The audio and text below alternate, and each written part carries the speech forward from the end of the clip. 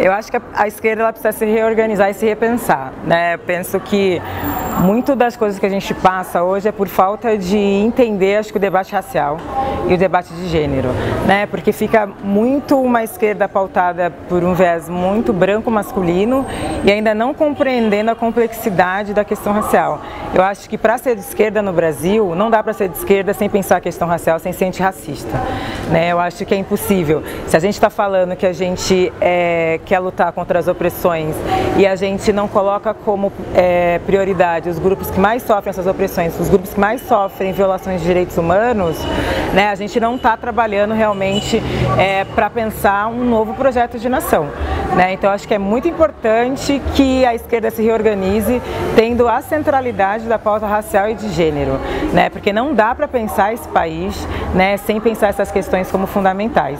Né? Ouvir os movimentos, acho que é muito importante esse exercício de escuta, porque os movimentos são organizados há muito tempo. Né? Às vezes eu fico muito surpresa, porque aqui no Brasil é muito comum pessoas da esquerda louvarem a Comuna de Paris, a Revolução Russa, que importantíssimas, não estou falando que não tem que fazer, ótimo, mas ignora o Quilombo de Palmares. O Quilombo de Palmares teve mais de 100 anos de existência num período de três séculos de escravidão, uma organização política importantíssima que resistiu à invasão holandesa, sabe, que resistiu durante mais de 100 anos.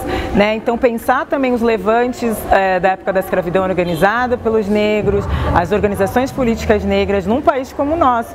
Né? Então não partir dessa perspectiva também de organização política da população negra, eu acho que diz muito sobre essa perspectiva da esquerda no Brasil, né? Porque ignora totalmente os nossos feitos e ignora os nossos fazeres políticos. Eu acho que é importante se reinventar se repensar, né? E tendo como pauta principal a questão de classe, raça e gênero como indissociáveis.